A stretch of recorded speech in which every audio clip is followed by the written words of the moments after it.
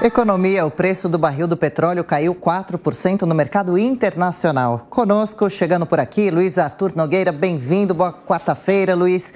Como que é? Devemos comemorar ou ficar preocupados com relação a essa queda, valor de combustíveis no nosso país? Explica pra gente, Luiz.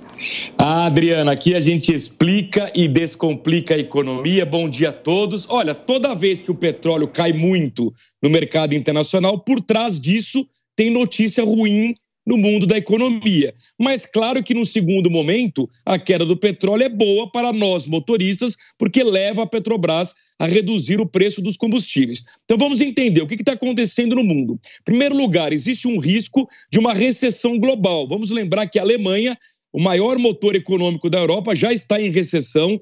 O mundo inteiro está subindo juros para combater a inflação, isso esfria a economia. Além disso, no mercado americano, há uma tensão no Congresso sobre a votação da expansão do teto da dívida americana. Apesar do acordo entre democratas e republicanos, essa votação não será tão simples assim. Isso levou a uma queda forte do petróleo ontem, 4%, e, consequentemente, gerou essa tensão no mercado internacional.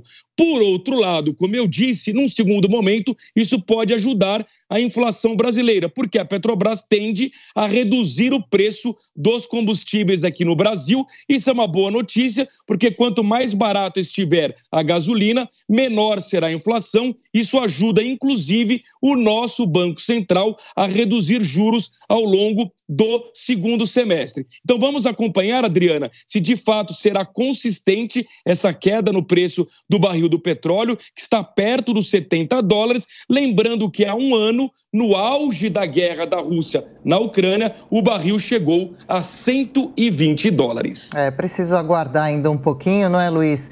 E o impacto no mercado financeiro aconteceu? Qual foi o comportamento do mercado de terça para hoje?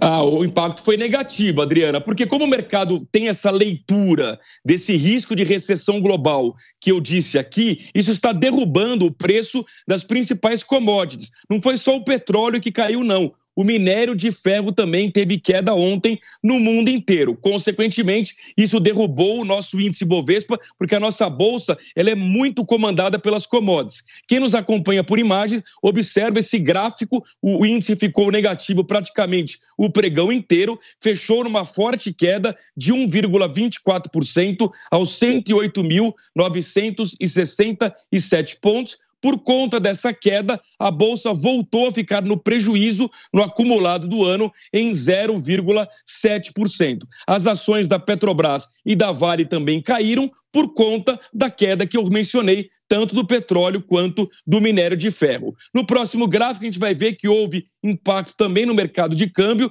O dólar subiu 0,45%, valendo R$ 5,00 e quatro centavos. O euro subiu 0,66%, valendo R$ 5,41 e o Bitcoin ficou praticamente estável, valendo 27.718 dólares. Portanto, hoje, Adriana, vamos acompanhar a evolução das negociações da votação do teto da dívida americana entre democratas e republicanos e aqui no Brasil todas as atenções voltadas para a tramitação do novo arcabouço fiscal no Senado Federal. Com certeza. Bom, e já já a gente fala de novo de economia aqui no Jornal da Manhã. Ótimo dia, Luiz Arthur Nogueira.